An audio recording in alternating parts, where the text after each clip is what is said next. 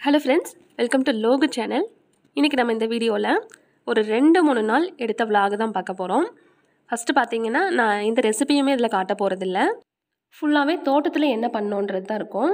வெங்காயம் காடு வந்துட்டு இப்போ எப்படி இருக்குது? அப்புறம் நெல் வயல் எப்படி இருந்துச்சு? நெல் அறுக்கும்போது எப்படி பண்ணோம்? வைக்கோல் போர் வைக்கிறது இந்த மாதிரியான வேலைகள் தான் இன்றைக்கி காட்ட போகிறேன் ஸோ உங்களுக்கு வந்துட்டு இன்ட்ரெஸ்டிங்காக இருக்கும்னு நம்புகிறேன் அதுக்கு முன்னாடி இந்த லோகு சேனல் சப்ஸ்கிரைப் பண்ணாமல் பார்த்துட்டு இருந்தீங்கன்னா சப்ஸ்கிரைப் பண்ணிவிட்டு பக்கத்தில் இருக்கிற பெல் ஆளுங்கிற ஆப்ஷன் கிளிக் பண்ணிக்கோங்க. அப்போ தான் இன்ட்ரெஸ்டிங்காக நான் போடுற எல்லா வீடியோஸ்க்கான நோட்டிஃபிகேஷனும் உங்களுக்கு வரும். உங்களுக்கும் பார்த்தீங்கன்னா வில்லேஜ் லைஃப் பற்றி நிறைய இன்ஃபர்மேஷன் கிடைக்கும்.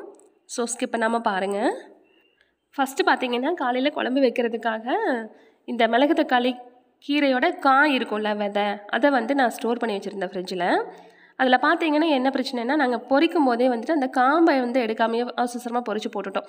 இதில் பார்த்தீங்கன்னா நான் பொரிச்சது எல்லாமே இந்த காம்பு இல்லாமல் தான் பொரிச்சிருப்பேன் ஷஷ்வின்லாம் எனக்கு ஹெல்ப் பண்ண வந்ததில் பார்த்தீங்கன்னா ஃபுல்லாக காம்போடையே போட்டுட்டான் அந்த காம்போடையே நம்ம குழம்பு வச்சிட்டோன்னா ஒரு மாதிரி வந்து தூசி கிடக்கிற மாதிரி இருக்கும் குழம்புக்குள்ளே. அதை பிச்சு எடுக்கவே வந்து ஒரு நேரம் ஆயிடுச்சு அதை ஃபுல்லாக பிச்சு எடுத்துகிட்டு இப்போ வெங்காயம் தக்காளி புளி இந்த மாதிரி குழம்புக்கு தேவையான திங்ஸ் எல்லாமே வாஷ் பண்ணி கட் பண்ணி ரெடியாக வச்சுருக்கிறேன். புளியும் வந்து குழம்புக்கு கரைச்சி வச்சுட்டு ரசத்துக்கு வந்து புளி ஊற போட்டு வச்சுருக்கிறேன்.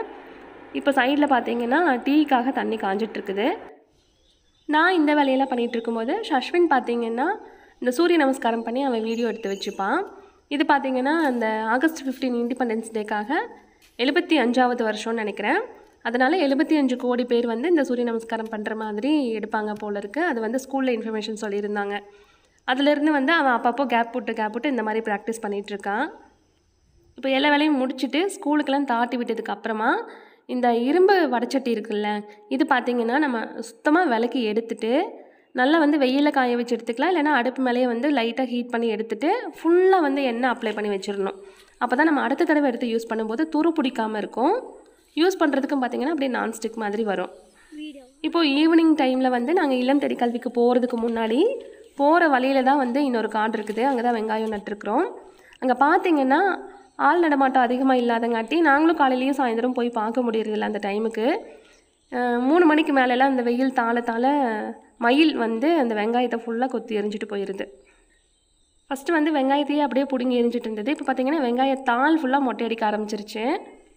சாயந்தரம் மட்டும் இல்லை காலையில் டைமும் பார்த்தீங்கன்னா வெயில் நல்லா சுள்ளுன்னு வர வரைக்கும் மயில் வந்து ஃபுல்லாக வெங்காய காட்டுக்குள்ளேயே தான் சுற்றிட்டு இருக்குது. மயில் வந்து நிறைய பெருகிட்டதுனால நம்ம அதை ஒன்றுமே பண்ண முடியாது. அதனால் நாங்கள் என்ன பண்ணுறோன்னா மயிலை பயமுறுத்துறதுக்காக சும்மா ஜஸ்ட் பிளாக்மெயில் மாதிரி ஏமாத்துற மாதிரின்னு வச்சுக்கோங்களேன். அதுக்காக இந்த மாதிரி குச்சி அங்கங்கே நெட்டு வச்சு இந்த கவர் அந்த மாதிரி இந்த ஜிகுனா பேப்பர் அந்த மாதிரியெல்லாம் தொங்க விட்டோன்னா அது வந்து சரி ஏதோ என்னவோ இருக்குது என்னவோ அசைதுன்னு சொல்லிட்டு அது அப்படியே வராமல் இருக்கும்ன்றதுக்காக இந்த மாதிரியெல்லாம் கட்டி விட்டுட்டு அங்கங்கே குச்சி நட்டு வச்சுட்டு இந்த மாதிரி கட்டி வச்சுட்டு வந்தோம். அப்புறம் நெல் வயல் பார்த்திங்கன்னா இப்போ நல்லா விளைஞ்சிருச்சு கதிர் வந்து முத்திருச்சு அறுக்கிற டைம் ஆயிடுச்சு அதுக்கு முன்னாடி மிஷின் விட்டு அறுக்கிறதுக்கு முன்னாடி பார்த்திங்கன்னா அந்த வரப்பு ஓரமாக இருக்கிறதுக்கெல்லாம் வந்து மெஷின்னால அறுக்க முடியாது. அதனால் வரப்பு ஓரமாக இருக்கிறதுலாம் வந்து ரெண்டு மூணு ஆள் விட்டு நம்ம அந்த ஓரத்தில் ஒரு ரெண்டு மூணு நாற்று மட்டும் அறுத்தறுத்து போட்டுற மாதிரி இருக்கும்.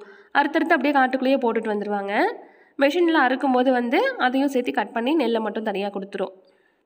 ஓரத்தில் இருக்கிறதெல்லாம் அறுத்து போட்டுட்டு நம்ம மிஷின் கூப்பிட்டோன்னா அவங்க வந்து இந்த மாதிரி அறுத்து கொடுத்துருவாங்க. இதில் நெல் பார்த்தீங்கன்னா இந்த மெஷின்லேயே ஒரு பாக்ஸில் விழுந்துரும். வைக்கப்பில்லாம் பார்த்தீங்கன்னா அப்படியே கீழே லைனாக விழுந்துட்டே தான் போகும். ஒரே வயலாக பெரிய வயலாக இருந்துச்சுன்னா டக்குன்னு வந்து அறுத்து கொடுத்துட்டு போயிடுவாங்க. இந்த நெல் இருக்கிற மிஷின்லாம் பார்த்தீங்கன்னா டைம் கணக்குக்கு தான் காசு வாங்குவாங்க. ஒரு மணி நேரத்துக்கு இவ்வளோன்ற மாதிரி. நமக்கு வந்து வயல் பெருசாக இருந்துச்சுன்னா நெட்டாக அறு அறுத்துட்டே போயிட்டு இருக்கும்போது பார்த்தீங்கன்னா நமக்கு டைம் சேவ் ஆகும் டைம் மிச்சமாகும்.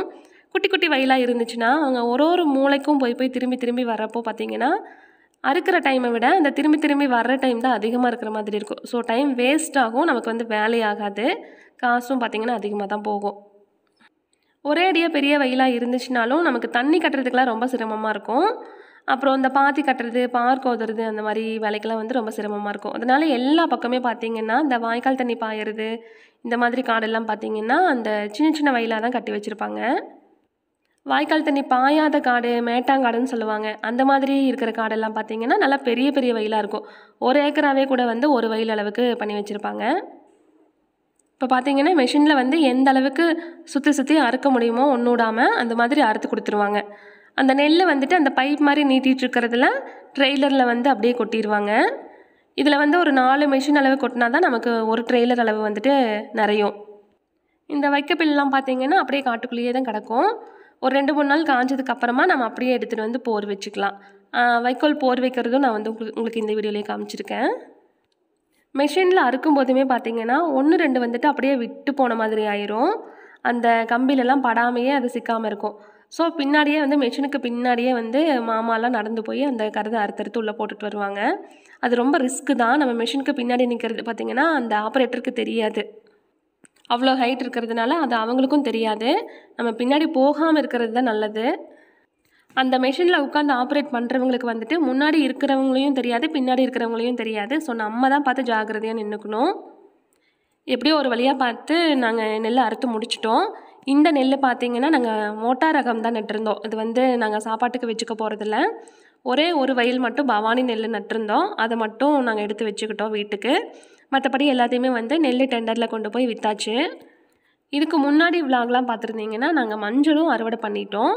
மஞ்சள் அறுவடை பண்ண காட்டில் பார்த்தீங்கன்னா வீட்டுக்கிட்டேயே இருக்கிற காட்டில் அப்படியே கொஞ்சம் சோளமும் போட்டு விட்டுட்டோம். சோளத்தட்டு வந்து மாட்டுக்கு தேவைப்படுது அப்படின்றதுனால அப்படியே அந்த மஞ்சள் மண்ணுக்குள்ளே நின்னதெல்லாம் உழவோட்டி பொறுக்கலான்றதுக்காக உழவோட்டும் போதே சோளத்தையும் விதைச்சிட்டு ஒரே அடியாக உல உழவோட்டியாச்சு. இப்போ பார்த்தீங்கன்னா ரெண்டு உழவு ஓட்டுற வேலை வந்து மிச்சம். ஒரே அளவுலேயே வந்துட்டு மஞ்சளும் பொறுக்கியாச்சு சோளமும் விதைச்சாச்சு. அந்த மாதிரி டூ இன் ஒன்னாக மாற்றிட்டோம் அதில் எல்லாத்துலேயும் சோளம் போட்டுட்டு வீட்டுக்கிட்ட இருக்கிற ஒரே ஒரு வயலில் மட்டும் மக்காச்சோளம் போட்டுட்டோம். மக்காச்சோள தட்டு வந்து நல்லா பால் கிடைக்கிது அதனால வந்து ஒரு வயல் மட்டும் அந்த மாதிரி போட்டுக்கலான்ட்டு பச்சை தீனியாக அறுத்து போட்டுக்கலான்னு சொல்லி அந்த மாதிரி போட்டோம். இப்போ வாங்க வைக்கோல் போர் வச்சுட்ருக்குறாங்க அது பார்க்கலாம். வைக்கோல் போர் பார்த்திங்கன்னா நாலு டிராக்டர் ஆச்சு. ஒரு ஒரு இதுலேயும் வந்துட்டு ரெண்டு ரெண்டு டிராக்டர் அளவுக்கு வந்துச்சு. ஃபஸ்ட்டு வந்து ஒரு டிராக்டர் அப்படியே கொண்டு வந்து அந்த போர்லேயே வச்சுட்டாங்க. நம்ம வந்து கையில் எடுத்து வைக்க தேவையில்லை. அந்த மாதிரி போர் வச்ச மாதிரியே வச்சுட்டாங்க. இப்போ ரெண்டாவது கொண்டு வர அந்த நடை வந்து பார்த்திங்கன்னா சைடில் போட்டுட்டாங்க. அது பார்த்திங்கன்னா அந்த முன்னாடி கொட்டினதுக்கு மேலே கையில் அள்ளி அள்ளி வைக்கணும். ஏணி வச்சு மேலே ஏறி வைப்பாங்க.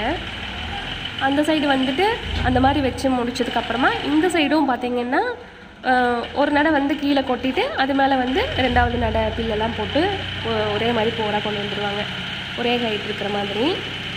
இந்த வருஷம் பார்த்தீங்கன்னா வைக்கப்பல் ஃபுல்லாகவே நாங்களே வச்சுட்டோம். ஒரு ரெண்டு ஏக்கரா பில் அளவுக்கு வந்து நாங்களே வச்சுட்டோம். ஒரு மாடும் ஒரு எருமையும் தான் இருக்குது. சரி ஓகே தீனி பத்தலைன்னா என்ன பண்ணுறதுன்னு சொல்லிட்டு நாங்களே ஃபுல்லாத்தையும் போராகவே வச்சுட்டோம். வைக்கப்பில் வந்து சேல்ஸ் பண்ணலை.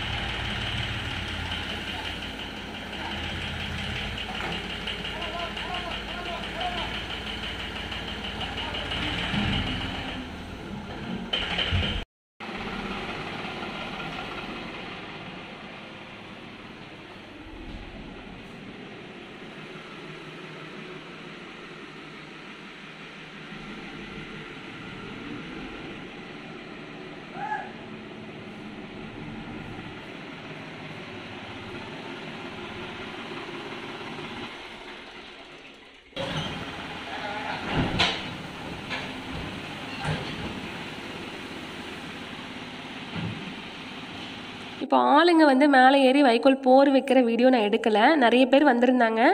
அதுவும் இல்லாமல் எனக்கு கொஞ்சம் வேலை இருந்துச்சு. அப்புறம் டீ வைக்கிற வேலை அந்த மாதிரி வேலையெல்லாம் இருந்துச்சு. சரி அவங்களாம் வச்சு முடிச்சுட்டு போனதுக்கு அப்புறமா பார்த்தீங்கன்னா இந்த கட்டுத்தர ஃபுல்லாகவும் வீட்டில் வந்து வாசல் ஃபுல்லாகவும் பார்த்தீங்கன்னா ஒரே வைக்கப்பில் புழுதியும் அந்த வைக்கோல் குப்பையுமாக தான் கிடந்தது.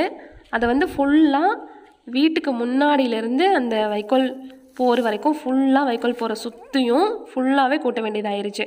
மாமா பார்த்தீங்கன்னா ஒரு பாலை எடுத்துகிட்டு மேலே இருந்த அந்த வைக்கப்பில் மாதிரி இருக்கிறத மட்டும் அதாவது ஃபுல்லாக உருப்படியாக இருக்கிறத மட்டும் எடுத்துகிட்டு கூட்டிகிட்டு போயிட்டாங்க. அதுக்கப்புறம் கீழே ரொம்ப ரொம்ப வந்து குப்பையாகவும் ரொம்ப புழுதியாகவும் மாடு வந்து திங்க முடியாத அளவுக்கு இருக்கிற அந்த குப்பையெல்லாம் வந்து நான் ஈக்குமார் வச்சு கூட்டி அள்ளி வச்சுட்டேன். மாமா வந்து அதை கொண்டே குப்பையில் கொட்டிட்டாங்க. அதை அப்படியே விட்டுட்டோன்னா அந்த குப்பையெல்லாம் வந்து பார்த்திங்கன்னா குப்பைன்றது தூசி மாதிரி ஃபுல்லாக ஒரு ஒரு ஒரு தடவை காற்றடிக்கும் போது ஃபுல்லாகவே வந்து பறந்து பறந்து வீட்டுக்கே தான் வந்துட்டுருக்கோம். நம்ம என்ன தான் கூட்டி எடுத்தாலுமே அந்த தூசியெல்லாம் கொஞ்சம் கொஞ்சம் இருக்கும் பாருங்க. அது டெய்லியும் வீட்டுக்கே தான் பறந்து பறந்து வந்துட்டுருக்கோம். இப்போ வெளியில் ஃபுல்லாக அந்த வைக்கோல் போகிற சுற்றியும் ஃபுல்லாக கூட்டி விட்டுட்டு வீட்டுக்குள்ளே வந்து முன்னாடி உள்ளே எல்லாம் வந்து கதவை சாத்தி வச்சுட்டு ஓரளவுக்கு வந்து தூசி வரல. ஆனால் முன்னாடியே பார்த்தீங்கன்னா இந்த கேட்டு மாதிரி இருக்கிற பக்கம் சந்து சந்தாக இருக்கிறதுனால ஃபுல்லாக தூசியும் புழுதியுமா வந்துருச்சு. சரி ஓகேன்னு சொல்லிட்டு முன்னாடி மட்டும் அதையும் கூட்டி விட்டுட்டேன்.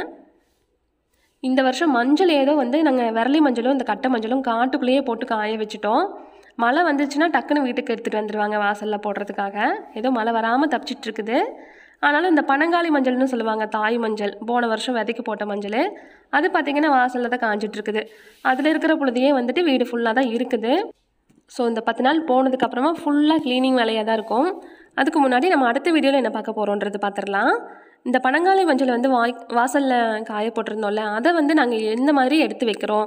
அதில் இருக்கிற கல் மண்ணெல்லாம் பொறுக்கிட்டு எப்படி வந்து மஞ்சள் மட்டும் சுத்தமாக எடுத்து வைக்கிறோன்றதை நம்ம அடுத்த வீடியோவில் பார்க்க போகிறோம் அதுக்காக பார்த்தீங்கன்னா ஒரு நாள் முழுக்க வேலை செஞ்சோம். அந்த வேலையும் இன்னும் முடியாமல் தான் இருக்குது. இந்த வீடியோ பிடிச்சிருந்துச்சுன்னா லைக் பண்ணி ஷேர் பண்ணிவிட்டு உங்களோட கருத்துக்களை கமெண்ட்டில் சொல்லுங்கள் தேங்க்ஸ் ஃபார் வாட்சிங்